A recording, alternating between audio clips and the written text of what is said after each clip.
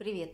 С вами Людмила Семененко, ваш тренер по стройному образу жизни. Выхожу с вами на связь, чтобы пожелать доброго утра, хорошего настроения, отличного стройного дня. И для того, чтобы напомнить вам про замечательную штуку, фрукт, который может стать составляющей частью очень большого количества разных салатиков. Можно, конечно, есть его и просто так, а, но только в меру, потому что если будете слишком много есть, а, вас могут начать кровоточить десна и губы. Я помню в детстве, когда когда объедала, объедала с этим фруктом, а, были потом не очень приятные последствия. Вот он, вернее, то, что от него осталось. Ананас. А, купила его где-то неделю назад, и вот так вот где-то по кружочку в день Почему-то никто из домашних больше не покусается, не покушается. По, кус, э, по кружочку в день я его уничтожаю.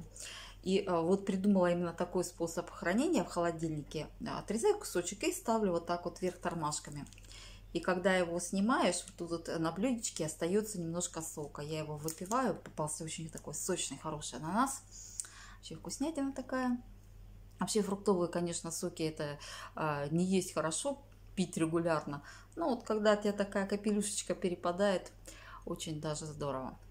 А, ананас, вы знаете, полезный, конечно же, потому что это фрукт, он растет на земле на траве, можно сказать. Э, в России не водится, а добавить чего-то, что у нас нет. Есть тут вещества, которых в других растениях не найдешь, очень даже имеет смысл. Но вот надеяться на то, что на нас там будет каким-то образом сжигать ваши жиры, я бы не стала.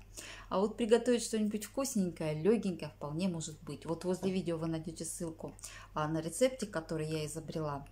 А вот как раз поедая этот ананас, готовится, готовится очень быстро, получается легким, вкусным. А, на завтрак или на ужин можно себе приготовить. Пользуйтесь этой стройной фишечкой дня обязательно. Никогда не сидите на диетах. Будьте бодры, веселы. Под видео ставьте лайк. И все у вас обязательно получится. Всего вам доброго.